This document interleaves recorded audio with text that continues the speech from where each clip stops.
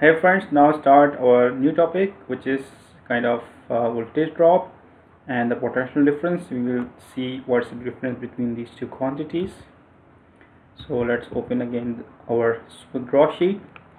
So what is a voltage drop? It is quite simple. For example if we have resistance here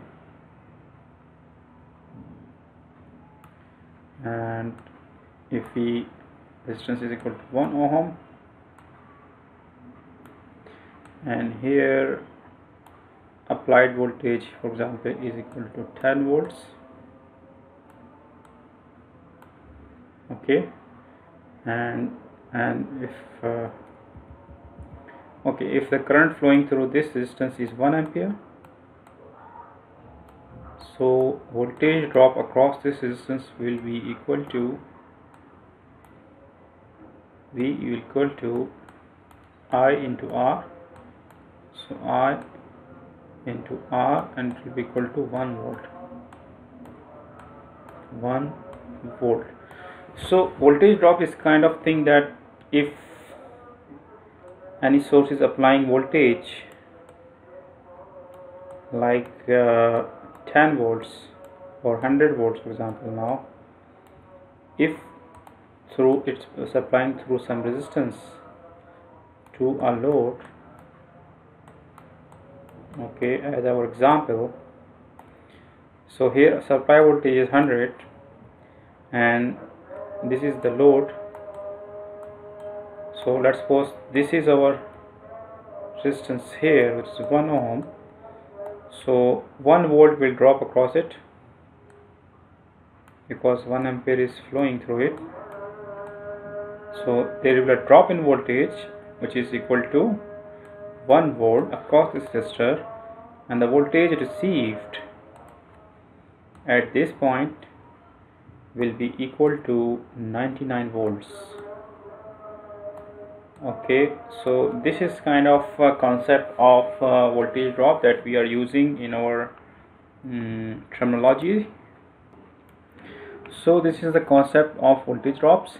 It means there was some supplied voltages and some voltage drop drop across the resistor. The remaining voltage will be feeding to the next circuit.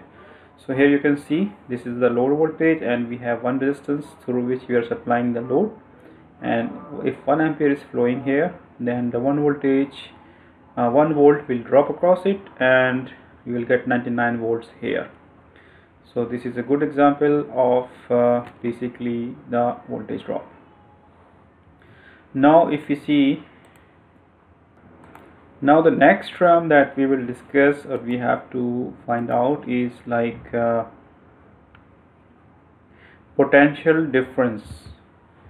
So potential difference is is basically the difference of potential between two points. It's called as a potential difference. So if we I select for example the one point here and one point here in the system. So here you can see the voltage applied here is 100 so the voltage potential at this point is equal to 100 okay. We have calculated that 1 volt will drop, will drop across this distance. The potential at this point is 99 volt. So this is the potential at 99 because 1 volt is dropping and this same potential is appearing at the load terminal. So potential difference the difference of potential between these two points will be equal to 100 minus 99 it will equal to 1 volt. So this is the example of potential difference. So there is a 1 voltage drop, drop across this resistor and the potential difference is also 1 volt here but there there is a case where it could be different. For example if you take a multi voltmeter and you connect across a AC source okay? So this source here for example is again of 100 volts okay? And you applied this you connect this voltmeter across this so in this case ideally they will the current here will equal to 0 the current across this source if we have ideal voltage source uh, ideal voltmeter which has an infinite resistance the current will be zero because nothing is connected. We have connected only the voltmeter. And but the voltmeter will show the reading 100 volt. 100 volt is not the voltage drop here. So v is equal to ir so it means v is equal to voltage drop here is 0 but here we have difference of potential because this source is this is at 100 volt potential here is 100 and here the potential is 0 so potential difference across this source is 100 volts. So you can see the potential difference across the source will be equal to 100 volts so there is a very small difference between these two terms sometimes the voltage drop could be the same as the potential difference okay?